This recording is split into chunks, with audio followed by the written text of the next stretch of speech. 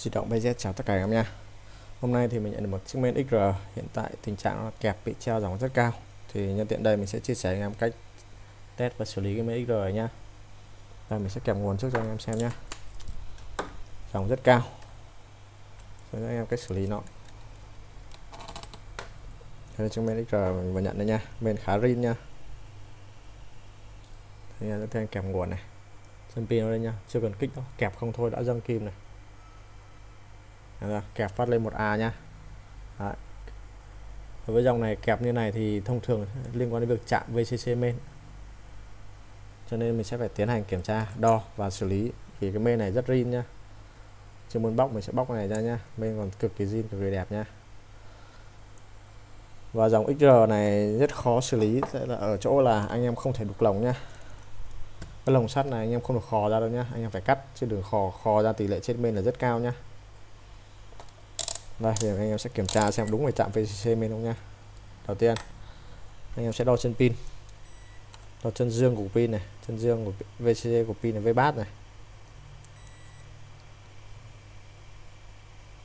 Không có mát à?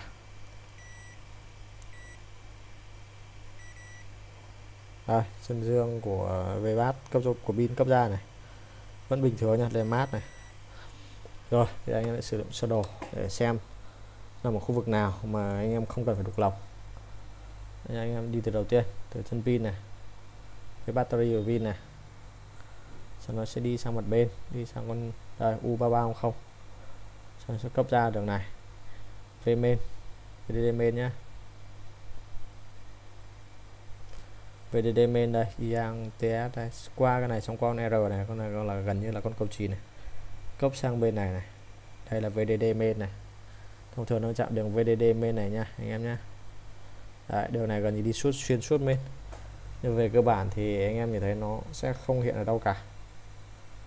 Gần như tất cả đều trong lòng nhé anh em gần như tất cả đều nằm ở trong lòng.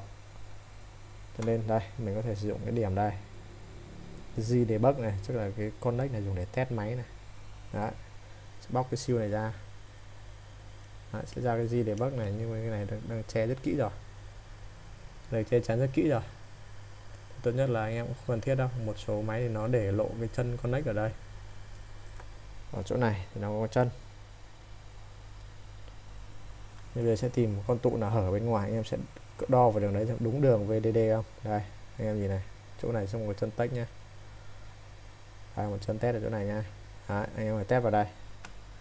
Đo xem đúng chạm VDD main không nha chạm VDD main thì anh em sẽ thành kích áp vào đấy để dò nóng, chứ đừng có kẹp như thế, vì kẹp nguồn như vừa nãy thì sẽ rất nóng chỗ này. Như vừa nãy nếu kẹp nguồn sẽ nóng con quy ở đây. Nó đi sạc kèm con quy, vì đời cao nó tích hợp không con quy bảo vệ như đời thấp. Đời thấp anh em có thể gỡ bỏ câu tắt quy để dò chọc, nhưng mà đời này thì anh em không gỡ làm gì, mất việc ra Đó. Đó nhá rồi bắt đầu mình có thể xem đo đúng chạm VCC không nhá. Đây, chấm này. Không phải chạm VCC main anh em ạ. VCC không hề chạm nha. Không chạm VCC main nhá. Đấy, thì nếu đã không chạm VCC main thì anh em sẽ xem nóng ở khu vực này. Sẽ kẹp vào, sẽ biết nóng ở khu vực dưới này. Sẽ bóc siêu ra. Siêu này là siêu cứng anh em bóc cũng không tác dụng đâu. Lồng cứng lắm. Nếu xem một đường là không phải chạm VCC main thì nó đang chạm đường khác. Đo bên ngoài để không đo ra. Và dòng XR này nhiều khi là chạm liên quan đến đèn anh em hiểu không? Có thể sẽ chạm đèn. QR này chạm đèn cũng khá nhiều. Đó. Anh em nhìn này, lộ không lộ mấy đâu. Mình sẽ cố gắng tìm đường này đo. Về DD main không chạm thì ta bắt đầu đo đèn. Đo đường đèn ở chân connect một màn hình.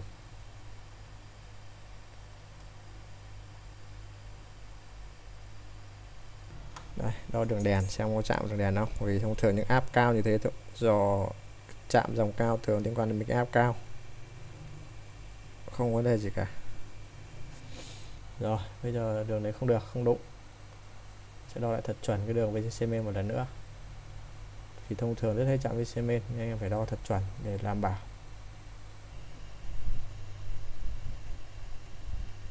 Ok VD bình thường. Đã như vậy thì bây giờ tiến hành phải dò nóng. Đến thời điểm tìm nóng ở đâu rồi? Chọc cao như vậy chắc chắn sẽ nóng. Mình thì có thể dùng nhiệt, cam nhiệt, còn anh em thì có thể sờ tay hoặc là dùng nhựa thông. Cam nhiệt thì độ chính xác nó cao hơn một chút dễ tìm. Cam nhiệt nhé mình sẽ thành giò trên cam nhiệt nhé rồi bắt đầu sẽ tiến kẹp nguồn để dò thử xem nào. Xem nó như thế nào nha Để đây nha xem nóng ở khu vực nào tức là kẹp trên pin trên pin sẽ nóng đầu tiên này. Em sẽ vặn nhỏ áp lại một chút chứ không vặn cao quá. Nó nóng từ từ đều thôi chứ không để nóng quá cao quá nhanh. Bây giờ đã kẹp nguồn nha. Mây bắt đầu nóng này. Đây là lồng CPU này. Nóng lồng CPU đánh em sẽ kiểm tra đằng sau là sinh nguồn này. Đấy, thấy không lồng với sinh nguồn nha chỗ này lên tới 40 độ nha 50 độ này. Cạnh lồng với sinh nguồn bây giờ mình sẽ bóc lồng với sinh nguồn nha đây là lồng với sinh nguồn nha bóc cái lồng này ra. Nghi ngờ nóng khu vực này. Bóc lồng này ra để kiểm tra. Đó.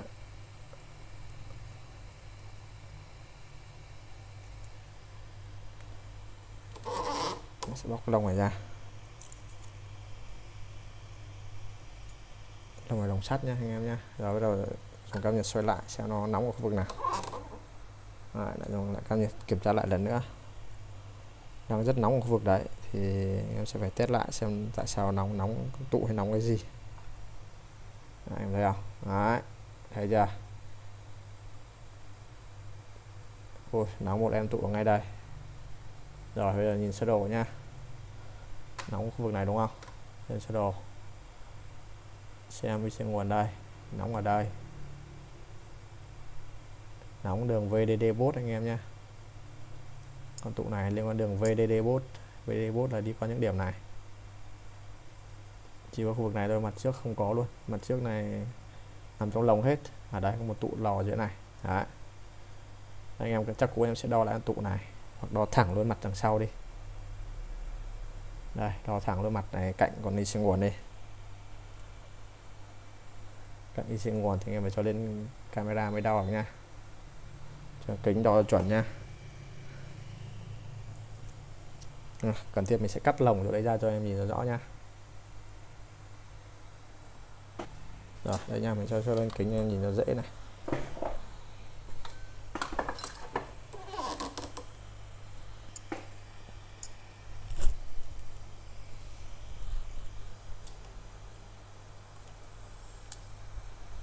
nha mình sẽ đo hành chỉnh sửa rồi đo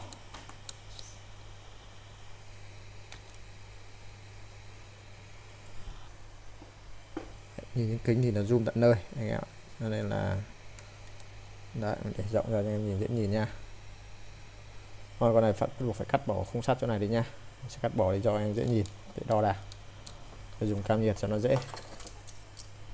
Rồi thế này mình sẽ cắt bỏ cái này đi các cái đoạn này thôi cho nó gọn nhá. Giờ mình cắt cho anh em xem thì bình thường mình lựa là mình không cắt đâu.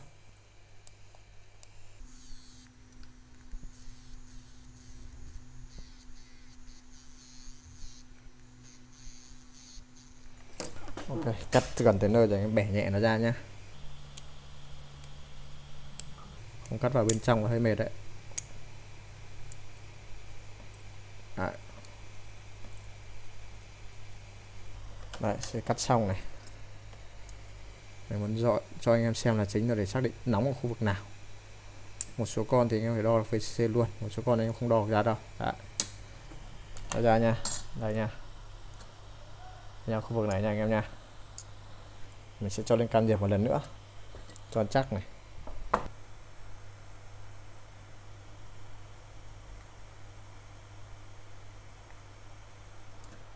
Đây nha, anh em nhìn thấy không? Là góc của con đi xem nguồn nhá. Đấy, cốc nguồn vào đây một cái. Xác định xem vị trí nó chính xác là con nào. Đây, phải chương trình đây như một chút.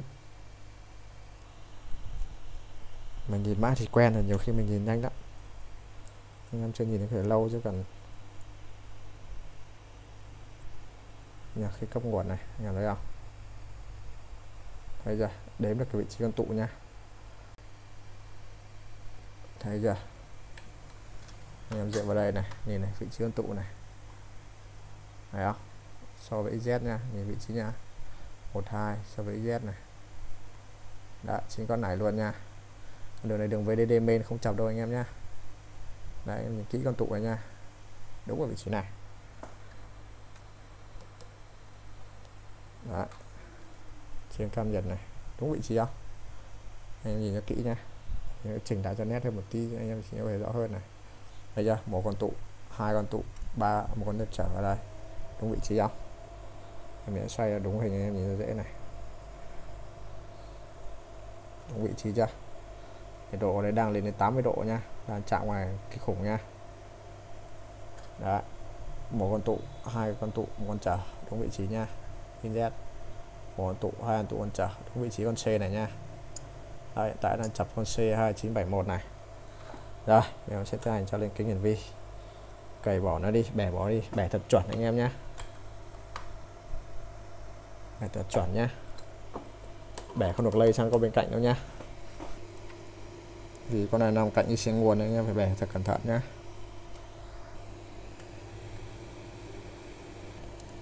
Vị trí nào con nào to quá thì anh em nên dùng mỏ hàn còn con này bé mình có thể dùng banh để bẻ nhưng phải có nhiệt vào nhá.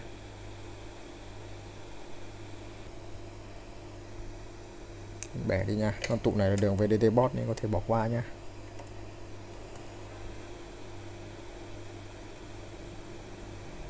Đấy, thấy không? Đã bẻ nó ra nha. Đấy.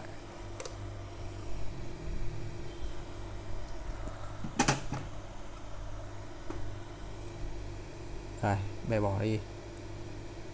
Đây ra, Đấy. rồi anh em thành đo lại còn đấy một lần nữa nó lại cho chắc xem đúng con đây chập không? Thì đúng con đây chập thì ok. Xong kèo và đo không chấm nó kẹp nguồn hết ăn nguồn.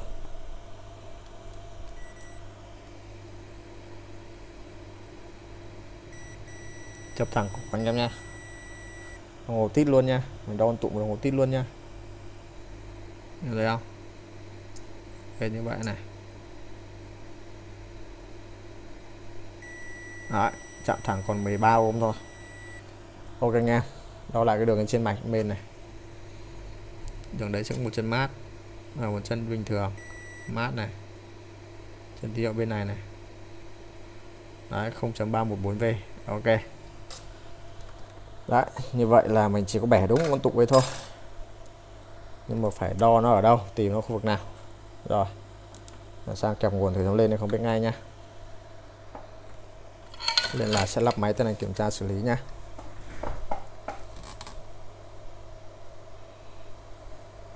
Đấy, này mình để có 3,2V thôi chứ chưa cần để 4V mình cho hẳn lên 4 đi. Sau khi xử lý xong tiến hành kèm nguồn.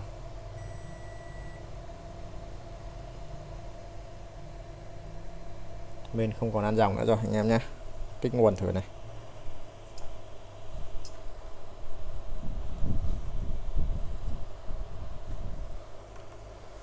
Sẽ đến cái nguồn nha lên 4V thì 3,5 thốc ạ. Đấy, là cái nguồn nha chân kích của nó ở trong socket này nha mình chẳng nhớ chân nào đâu. Lắp chuẩn nhé không lỏng chân pin thì nó không ra vào đâu. Vì chân pin đời cao này bây giờ càng ngày chân làm càng nhỏ càng khó kẹp hay bị lỗi.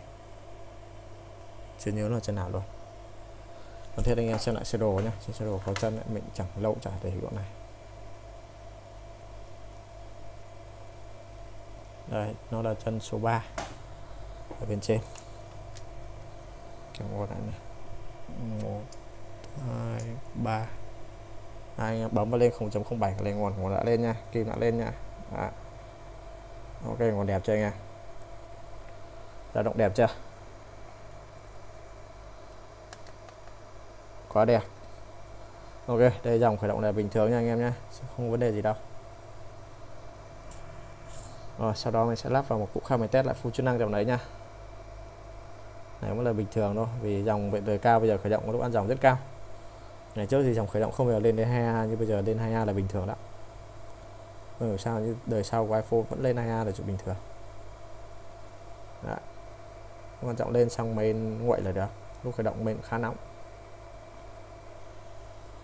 Đấy, như vậy là máy đã lên nguồn nha mình chỉ bỏ đúng con tụ của đường VDD bot nha đây nhá, mình sẽ bỏ con tụ này nhé em lưu ý nhé con tụ này đường VDD bot điều này tại sao bỏ được? Tại vì nó đi qua nhiều tụ, là một này, một con tụ em này, hai tụ này, ba này, bốn này, năm này, rất nhiều tụ đi qua. Cho nên những con tụ này mang chất lọc thôi. Lọc để sản phẩm điện áp thôi không vấn đề gì, có thể bỏ qua một vài con, không ảnh hưởng gì nhá. Ok, bây giờ mình sẽ lắp vào một cái cụ khác test cho anh em xem lên không nhá.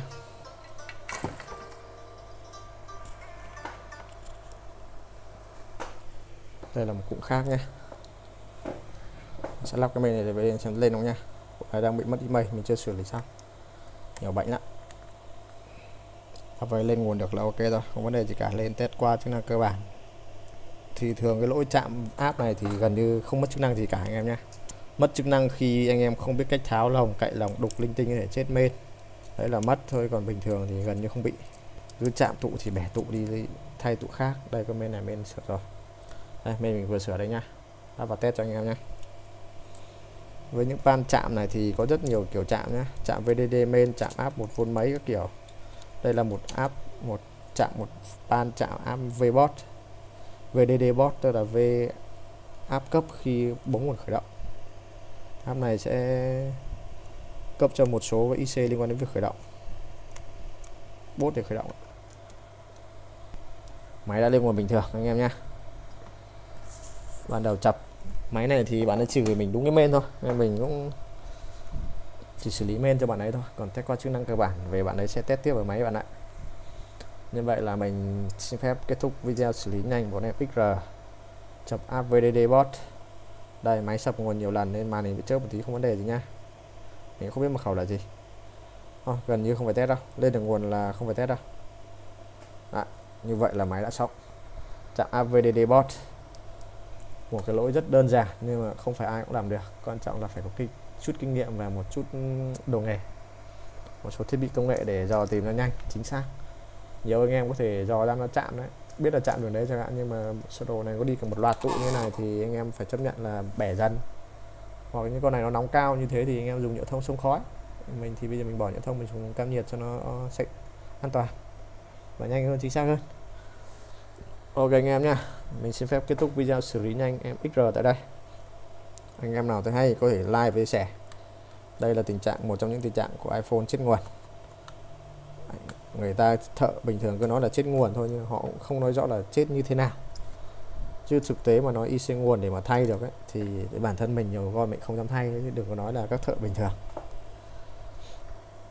Cho nên người ra ta chỉ nói là chết nguồn cho anh em dễ hiểu thôi cứ sửa lên được nguồn gọi là sửa nguồn. Còn đây là chạm áp này thì sửa xong khá bền. Chạm một con tụ thôi. Cái này thì một số anh em có hỏi mình là tại sao có thể bỏ đi được. Và một số tại sao không bỏ đi được. Con tụ này nó tụ lọc nên anh em có thể bỏ. Tụ lọc nó có nhiều. Lọc nhiều còn những con tụ của đường tín hiệu anh em không thể bỏ nhé con tụ hai đầu ấy, tụ hai đầu sử dụng tín hiệu ấy. Đây những con tụ như này chẳng hạn. Đây cũng là tụ, ký hiệu vẫn là C. Nó tín hiệu nó dẫn tín hiệu từ bên nọ sang bên kia. Anh em không thể bỏ nhé đây, chẳng hạn như con tụ đường audio này, dẫn tín hiệu âm thanh này. Tụ này chỉ dẫn điện một chiều và không dẫn điện hai chiều. Thôi, mình tạm thời chia sẻ này thôi. Cảm ơn anh em quan tâm theo dõi của mình. Chào tất cả anh em. Hẹn gặp anh em ở những clip tiếp theo. Xin chào, tạm biệt.